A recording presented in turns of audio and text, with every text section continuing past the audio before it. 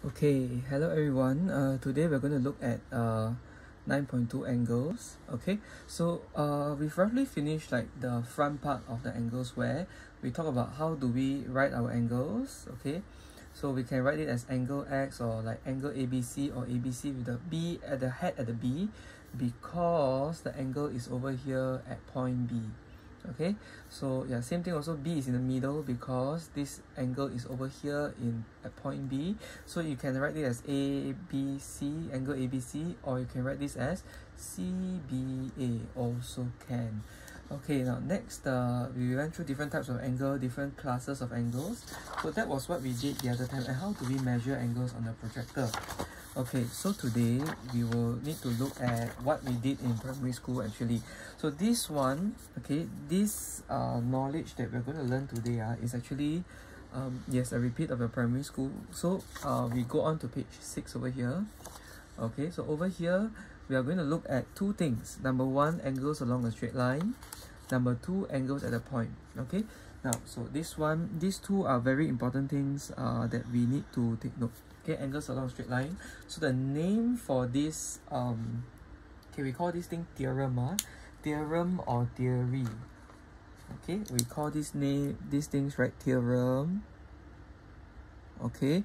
Or actually theory okay? Theorem or theory meaning uh, it is a statement uh, statement or a property uh, okay we call this the angle property. So here we have angles along a straight line. Okay and the other one on the next page is actually angles at the point two things. Okay all right so number one.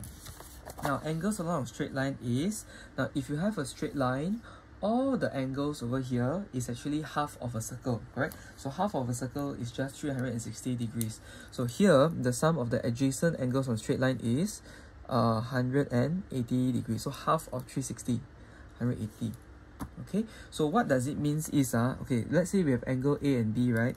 So this angle a okay plus this angle b is going to give me 180 degrees. Okay? So if you want to look for angle a we just take 180 minus b. If you want to look for angle b we just take 180 minus a okay? Now same thing let's say even if we have three or more angles right we just need to add so it's the sum of all these angles so when we add all these three angles together okay this will give me 180 degrees. Okay? All right so this is the theory. Now this one uh, let me write first okay? This one you don't copy first. Okay this part let me write first uh. now I know that in primary school uh, what what you did in primary school was here you in order to look for A right what you did was you take A and then you write equals to 180 degrees minus 122 so 180 minus 122 here is actually 58 degrees. Okay? And then this is actually your final answer. Then for let's say for b uh, let's say you do this right you take 180 degrees okay minus 95 minus 65 okay so this one is actually equals to 160 so actually 20 degrees. Okay so this is what you did in primary school. Okay however okay in secondary school because we actually look for communication. Okay actually we want to encourage communication. So in secondary school onwards we need to write down the angle property that we use or we, we need to write down the reason why we use this okay so this one is on top of this uh. so um the reason is because we want it to be a clear uh, we want it to be clear explanation. Otherwise it will be let's say if, if we come to more complicated problems okay uh, we may it may lead to uh, like we, we don't know like what property people use. Okay so we need to write down the properties so that people know what we use. Now so angles along a straight line is so we need to write down the full thing. Angles along a straight line okay however to save your life uh, okay we don't have to write down we can use short form to do this so angle so the short form is or the, more likely the abbreviation abbreviation means short form uh. okay the short form is angles along a straight line, right? So angles, we just put the sign angles along a straight, don't need to write the full thing, just st dot line. Okay, so this one, we need to write this. Okay, so this is the shortest version that uh, we agreed on lah. Okay, so we need to write angles along a straight line. Okay, at least we need to write this. Okay, so now what we do is we are going to do the same thing like primary school. So we're going to do A is equals to angle A uh, is equals to 180 minus 122. But why, why, right? We need to write down angles along a straight line. We need to write this thing over here with the reason now. Okay, so it's a bit different from primary school where we just write this enough. But now in secondary school, we need to write down this reason. So this one is actually equals to 58. Okay, so A is equals to 58. Okay, now same thing for B also. B, ah, same thing. Ah. Okay, B, we have actually 180 degrees minus 95 minus 65. Okay, the reason we need to write are angles along a straight line. Must write this. Then this one is equals to, so if you're not sure, we double check the calculator. So 180 minus 95 minus 65. So this is 20. Okay, so 20. Like this over here. Okay. Alright, so this is the first type of problem, the straightforward type. Now the second type of problem is actually this, okay? Now these three angles, because they are on a straight line, AOB, they say AOB is a straight line, uh, so this is a straight line, so all the angles here add up to 180. So this one, instead of just doing it manually like primary school, uh, you, a lot of you will do this, 180 minus 100, this is equals to 80, so 5 is, is equals to 80, then 1 is equals to 16, then cannot because this is not clear. And we already learned algebra so we need to use the algebra to form the equation.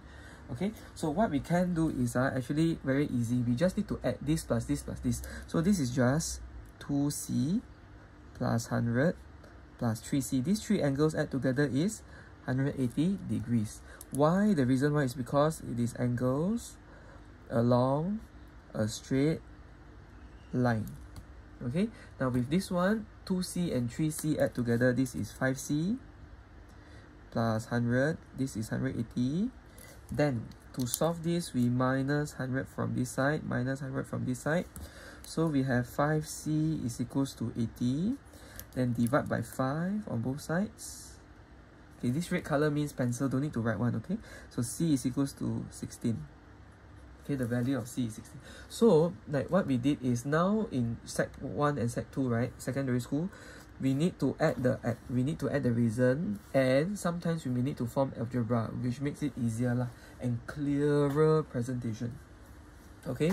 So we need to move away from a bit of the primary school habits and really need to start to write down formal mathematical sentence. Okay? So this part uh, is actually just angles along a straight line Okay, next, we're going to look at angles at a point. So let's say at a point over here, all the angle at the point, because they form one circle, so the sum of the angles at the point is 360 degrees. So imagine, let's say if this one, now uh, you have three angles over here. Okay, angle A, angle B, angle C, like this. Huh?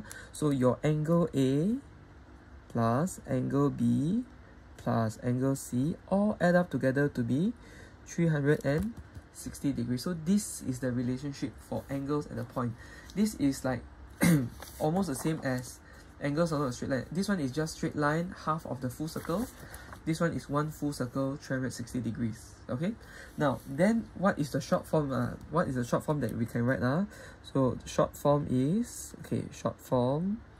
Okay, angles at the point, right? So angles, we just write the symbol angle as angles at a point we just put pt dot. Okay angles at the point. Okay so short form. Don't have to write the full word. Okay? Now but if let's say if the question asks for what is the reason then maybe we have to write the full thing. Okay? But like for working wise we just write this one will do. Okay so practice now too. for example this one uh, a 58148 uh, so how do we find this actually is we take uh, a uh, angle a is equals to 360 minus 148 minus 58 like what we do in primary school but in secondary school we need to add our angles at a point. Like this. Okay so let's calculate 360 minus 148 minus 58 so 154 okay so this one is 154 straightforward. Okay so this is AR now B Okay, B over here, this one, one full circle is 360 degree, but now we need to write down. So this one, what does this square mean over here? Ah? This square means, this one over here means 90 degrees. Okay, so everything add together 360 degrees. So this one we need to form the equation. So we have um here 4b plus b plus b uh, and plus 90 degrees is equals to 360 degrees. Why? Because this one is angles at a point. Okay, angles at a point.